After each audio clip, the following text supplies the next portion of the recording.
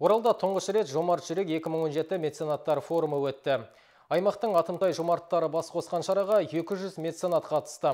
Жалпы кәсіпкерлер өңірді көркейтуге белсене атсалысып келеді. Жыл басынан бері рухани жаңғыру бағдарламасы аясында 2,5 миллиард теңгенің 62 жобасы жүзеге асқан.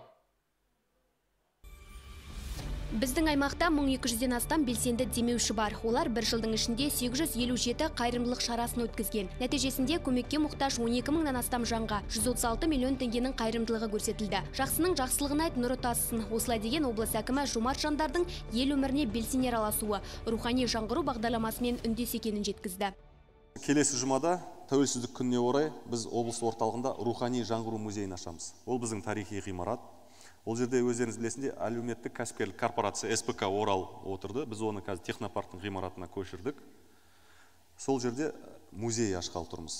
Осы тәуелсіздік күніне ашамыз. Ол біздің кәсіпкеріміз мұратбек мұхамедиев бір ауыз сөзді қолдап өзінің қаражатынан 20 миллионға жуық қаражатты сол жерде күрделі жөндеу өткізіп музейге үлкен көмек беріп отыр. Мемлекетте жағдай бар. Бірақ осы елбасының саясатының арқасында тұрақтылықтың халықтың көпұлтты халықтың бірлігінің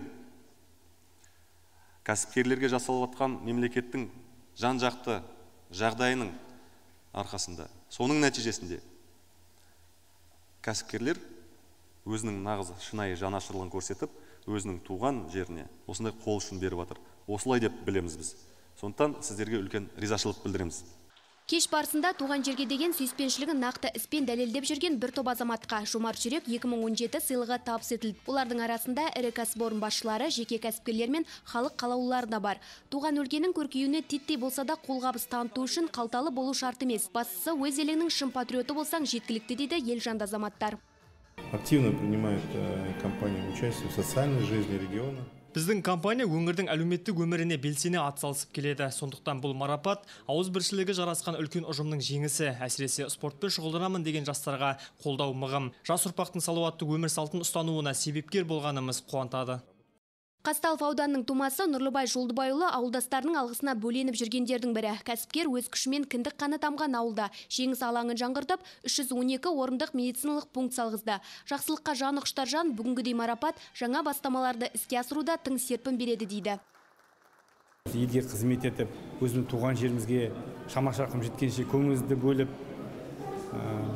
барымызша көмектесіп келеміз мен әлі не істей аламын деген сұрақтар мазалайды алла қаласа бір үлкен өзіміздің проектіміз бар. Жаңағы мәдениет үйін салу ауылға соны бастағалы отырмыз.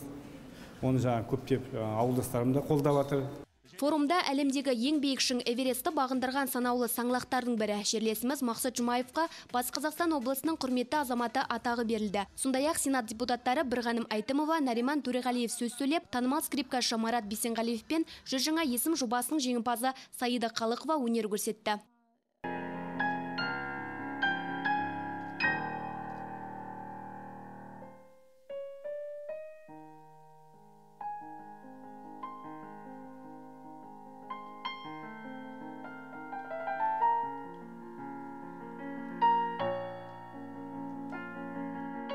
Сән салтанаты келіскен шарада ең үздік үкіметтік емес ұйым мен ең үздік волонтердің есімі анықталды. Жалпы келер жылы мәрт жандардың көмегімен облыста 1,16 миллиард теңгеге әлеуметтік маңызы бар 200 жоба жүзеге аспақ. Олардың ең бастылары Жайық қалашығы, Қазақстанның киелі жерлері картасының кешені мен мүгедек балаларды оңалтуға арналған облыстық орталық болмақ. Назерке Тоқжан, Айбек Сағынғалиев, Нұржан Ақжайық арнасы.